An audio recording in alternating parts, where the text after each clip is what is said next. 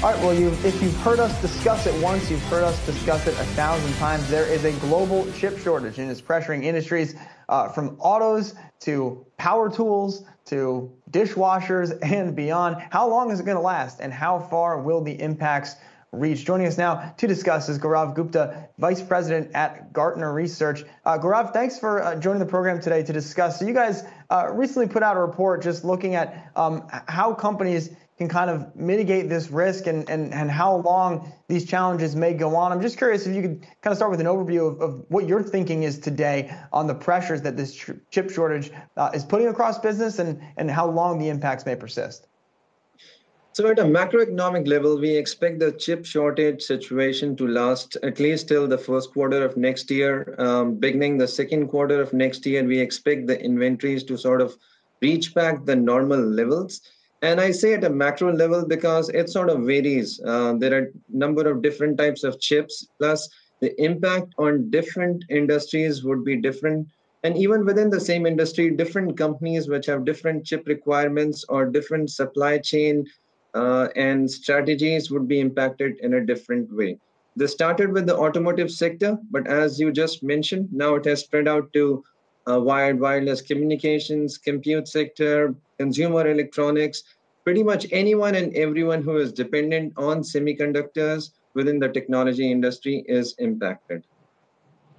And, and I guess another question I have is is around um, is it innovation in the types of chips that is, is, being created that's creating this bottleneck? Is the bottleneck around um, demand for chips? I mean, what is kind of the, at the center of, of the issue here?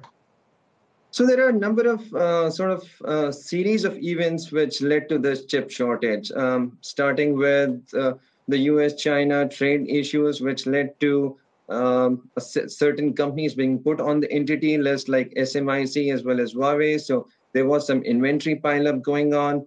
Then we had the COVID pandemic, which resulted in work and study from home. So there was an unprecedented demand for uh, consumer electronics, laptops, PCs to work from home the hyperscale guys were building out, plus the 5G revolution came around. So there was an unexpected um, demand for semiconductors.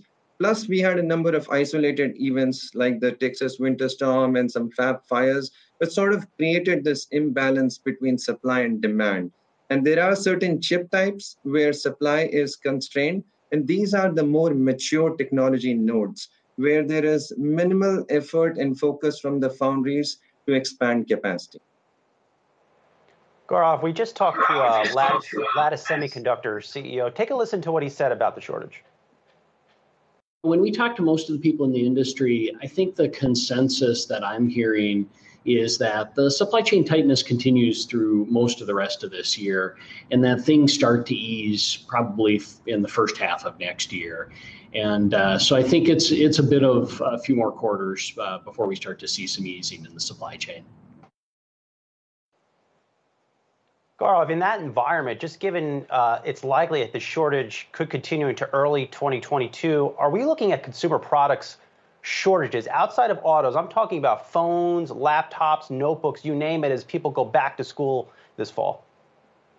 Yeah, so you've already seen some shortages in gaming consoles, as well as it's going to hit other consumer electronics too, right? Um, now, the auto sector was hit first because their demand had gone down and they had cut down some chip orders.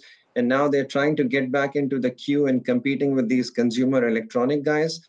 And the chip shortage has extended beyond just the chips within the semiconductor supply chain. There are other parts of this industry which are highly stressed for example, testing, packaging, etc., which impact some other devices where devices are available, but then these other aspects of the semiconductor supply chain are stressed. So it is going to definitely impact your PCs, laptops, etc. Though with the COVID pandemic, there was a sudden increase in demand, and we see that sort of flattening out to some extent. Gaurav, what effect is all this going to have on prices when all is said and done? How high do you think um, price? How much do you think prices are going to increase as a result of this?